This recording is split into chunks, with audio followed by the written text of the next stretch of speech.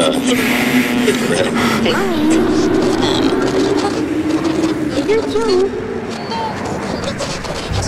Why you left me alone? Mommy?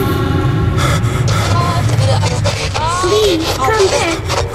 to license it. Out of sadness, save me.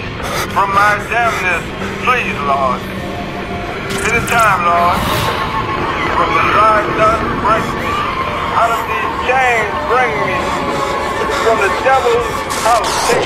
Out of darkness, walk me. Out of blindness, lift me. Out of sadness, save me.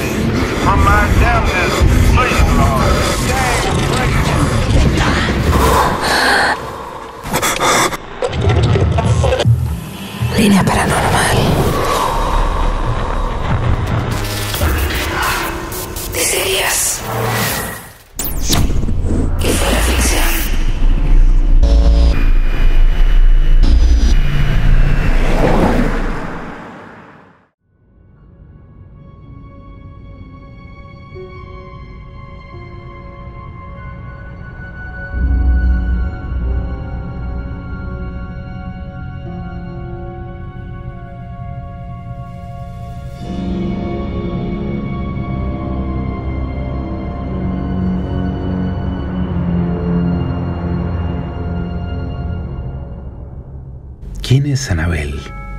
preguntó Ed. ¿Anabel es un ser vivo?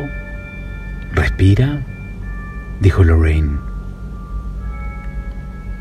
Ella se mueve, ella actúa como viva, pero no, no creo que esté viva. Anabel está en la sala de estar, dijo Lara, señalando a través de la mesa. Está sentada en el sofá. Lorraine miró a la izquierda hacia la sala de estar. ¿Estás hablando de la muñeca? Así es, respondió Lara. La gran muñeca Rashedian. Esa es Anabel, y ella se mueve. Así comienza el relato de la muñeca más embrujada y más famosa. Hoy vamos a contar la historia definitiva de cómo dos jóvenes fueron engañadas por una entidad demoníaca para que se le dé permiso de quedarse para siempre. Una historia que trasciende fronteras e idiomas, cuya película le dio más vida a su más oscuro relato. Todo comienza en 1970. Dos jóvenes enfermeras se habían comunicado con lo que consideraban un espíritu humano. Pero después de que extrañas situaciones ocurrieron desde esa comunicación, terminaron pidiendo ayuda a un sacerdote de confianza. El sacerdote dudaba que ese caso fuera algo que está relacionado con un fantasma, porque la petición de ayuda incluía el hecho de que una de las personas involucradas había sido atacada física y violentamente. Las heridas no eran graves. La actividad todavía estaba en progreso y una de las chicas estaba segura de que algo extraño había dentro de su departamento y efectivamente así era. El sacerdote se comunicó con los Warren que se dedicaban a verificar si lo que ocurría en un lugar requería realmente de ayuda de una fuerza más poderosa, como lo sería la de un exorcista. Al tiempo se hicieron presentes los dos investigadores.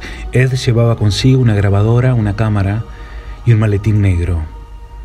Golpearon la puerta y los pasos se empezaron a sentir, viniendo desde el interior. La cerradura se abrió y Deidre Bernard, una joven de 25 años, abrió la puerta. Ed y Lorraine Warren se presentaron y fueron conducidos al departamento a través de una espaciosa sala. Allí Candle Randall y su prometida, Lara Clifton, se sentaron a la mesa a tomar un café. Deidre le presentó a los Warren. La mirada de ellos era seria y desdibujada, y lo decían todo. Ed tomó la grabadora, ingresó la fecha, la hora, la dirección y los nombres completos de los presentes. Está bien, me gustaría escuchar toda la historia desde el principio. ¿Quién puede contarme lo que pasó? Yo puedo, dijo Deidre. Hay dos historias. Una que comenzó a principios de semana con Cal y la otra es sobre Anabel. Pero supongo que ambos son de Anabel. No estoy segura. ¿Quién es Anabel? preguntó Ed. Ella pertenece a Deirdre, respondió Lara. ¿Pertenece? ¿Anabel es un ser vivo? Anabel está en la sala de estar. Y es la Raya y Diane, que se mueve sola. Ed se levantó y entró en la sala para inspeccionar a la muñeca. Era grande y pesada, del tamaño de un niño de cuatro años. Estaba sentada con las piernas estiradas en el sofá. Los ojos negros sin pupilas le devolvían la mirada, mientras que la sonrisa pintada le daba a la muñeca una expresión muy sombría y muy irónica. Mirándola sin tocar el objeto, Ed regresó a la cocina y preguntó de dónde vino la muñeca. Respondieron, fue un regalo. Mi madre me lo regaló en mis últimos cumpleaños, dijo Deidre. Era algo novedoso, era una decoración. Hace aproximadamente un año, la muñeca comenzó a moverse sola por el departamento. No quiero decir que se levantó y caminó o algo así. Quiero decir que cuando volvíamos, después del trabajo, nunca estaba exactamente donde la dejábamos. Yo ponía a la muñeca en mi cama cada mañana, después de hacerla. Los brazos siempre estaban a los lados y las piernas estaban rectas, tal como está sentada ahí ahora. Pero cuando volvíamos a casa por la noche, los brazos y las piernas estaban en diferentes posiciones. Por ejemplo, estaban cruzadas en los tobillos o sus brazos estaban doblados en su regazo. Después de una semana más o menos, esto nos hizo sospechar.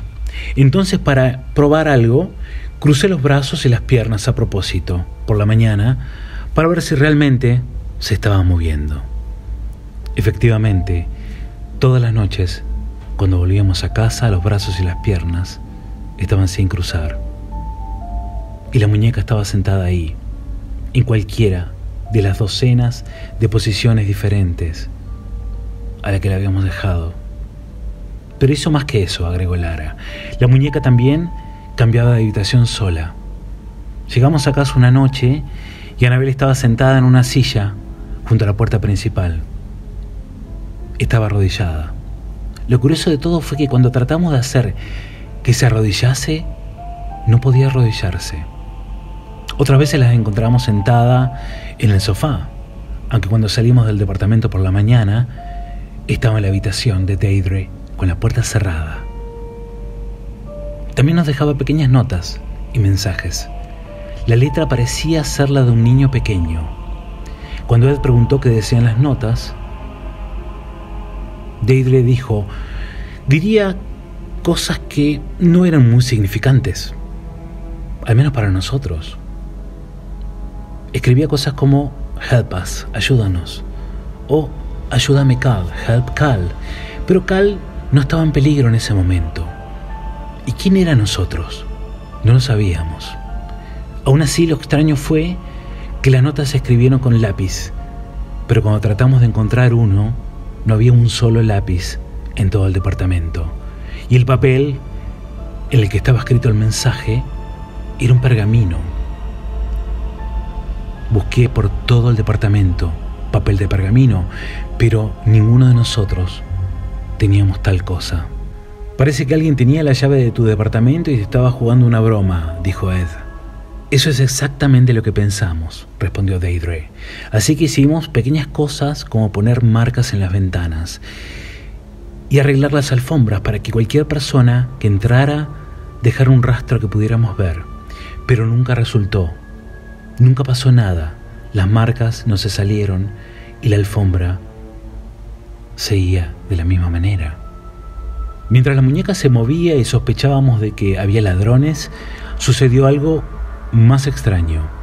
Un día entramos en la habitación, después de trabajar, y nos encontramos con Annabel que estaba sentada en la cama de Deidre y tenía sangre en el dorso de la mano y tres gotas más en el pecho. Eso realmente nos asustó, dijo Deidre. Lorraine preguntó ¿Cuándo llegaron a determinar que había un espíritu asociado con la muñeca? Deirdre dijo, sabíamos que algo inusual estaba sucediendo. La muñeca cambiaba, se movía, muchas veces cambiaba los gestos, pero queríamos saber por qué pasaba esto. Hubo quizás alguna razón por la cual la muñeca se movía. Así que Lara y yo nos pusimos en contacto con una mujer que era un medium. Esto fue alrededor de un mes y tal vez seis semanas antes de que todo comience a suceder. ¿Y qué descubrieron? Supimos que una niña pequeña murió en esa propiedad, dijo Deidre.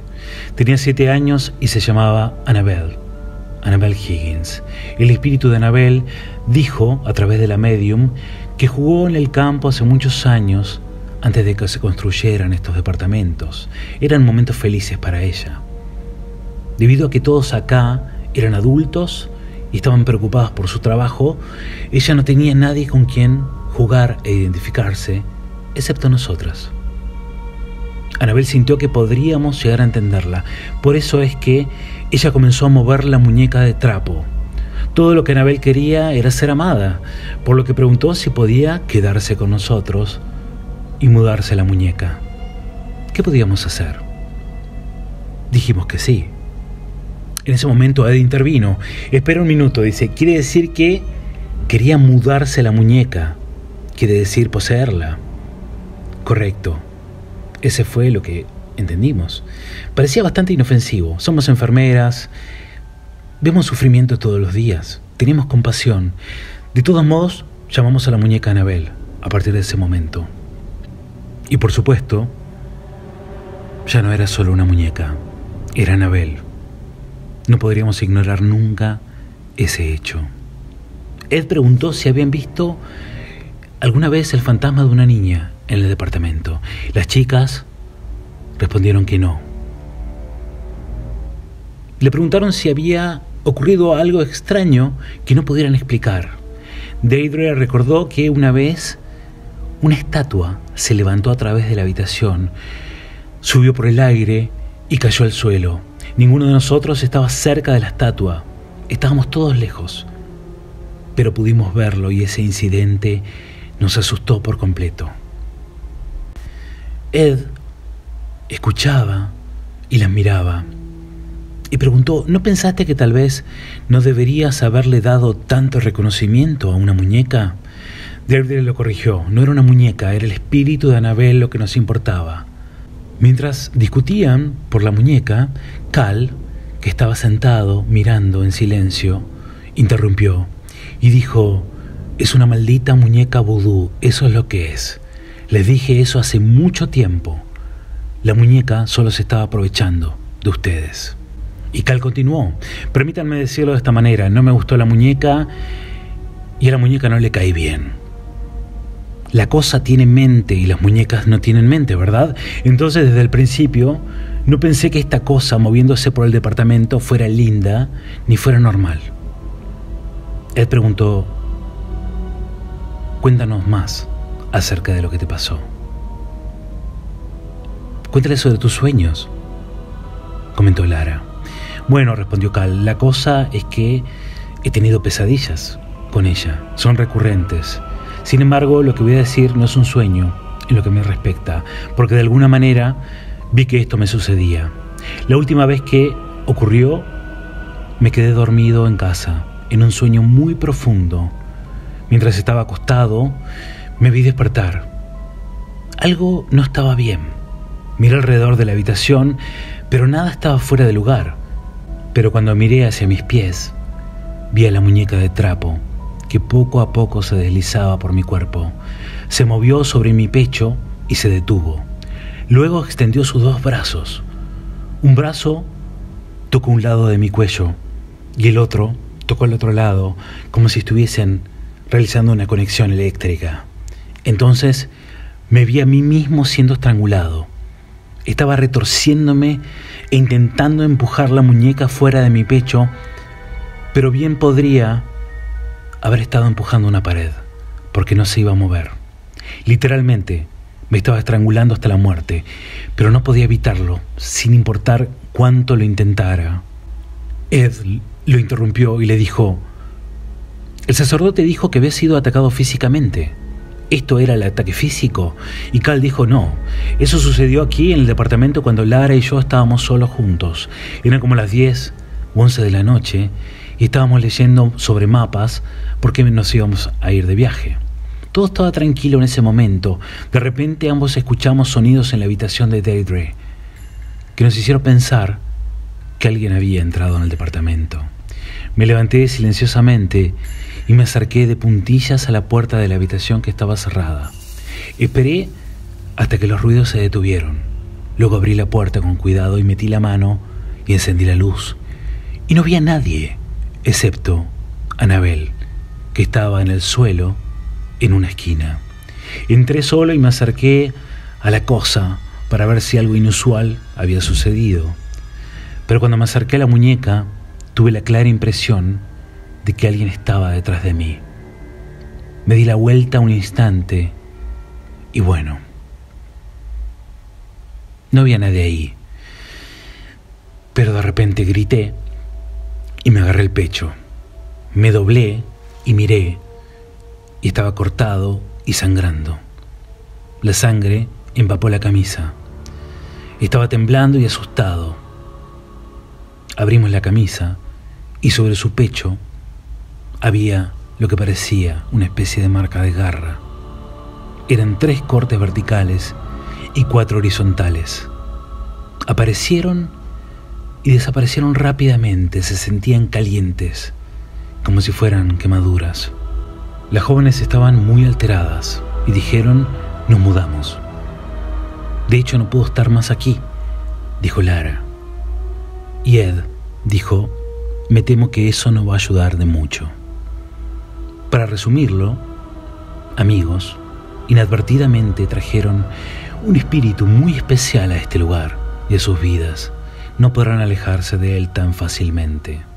Para empezar, no hay Anabel. Nunca hubo Anabel. Ustedes fueron engañados.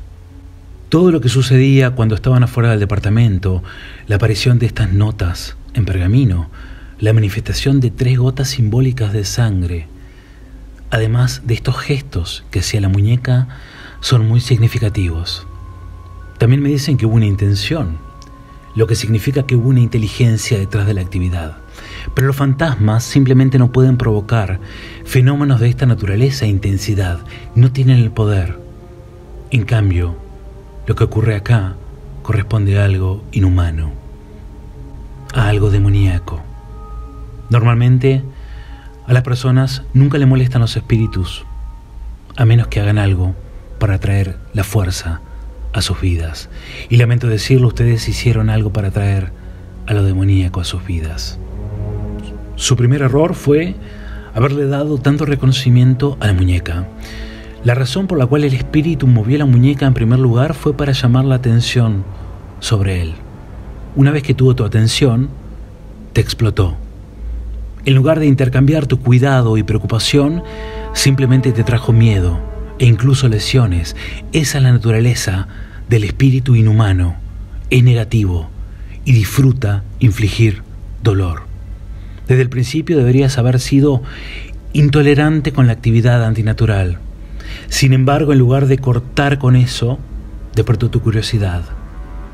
Y ese hecho se notó y se acentuó sobrenaturalmente. El otro error fue llamar un medium. Quien quiera que funcionara como medium fue utilizado involuntariamente como un instrumento de comunicación por la entidad. Durante la sesión, este espíritu inhumano te alimentó con información falsa, porque lo demoníaco es mentiroso. Incluso se le ha llamado el padre de las mentiras. Bueno, un espíritu de engaño te mintió y sin saberlo creíste en él.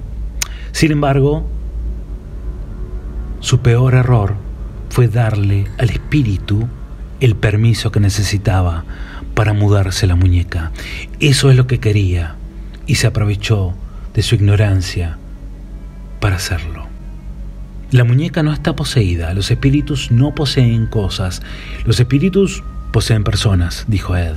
Lo que le ocurrió a Cal a principios de semana iba a ocurrir tarde o temprano. De hecho, todos estaban en peligro de la posesión de este espíritu, que era lo que realmente buscaba. Pero Kalaka pensaba que era una farsa, por lo que era una amenaza para la entidad. De una forma u otra, en algún momento iba a haber un enfrentamiento. ¿Y qué pasó? El demonio intentó estrangular a Carl hasta la muerte. Cuando eso falló, lo cortó con una marca de garra simbólica. Hemos visto esta marca en otros casos. Es una señal reveladora de una presencia demoníaca. Si le hubieran dado al demonio un par de semanas más, quizás todos habrían sido asesinados. Al poco tiempo llegó el sacerdote y bendijo todo el lugar. No hubo problemas ni contratiempos durante el procedimiento. Cuando terminó, el sacerdote bendijo a las personas que estaban presentes y después de hacerlo declaró que todo estaba bien. Lorraine también confirmó que el departamento y las personas estaban libres de la entidad. El trabajo de ellos había terminado.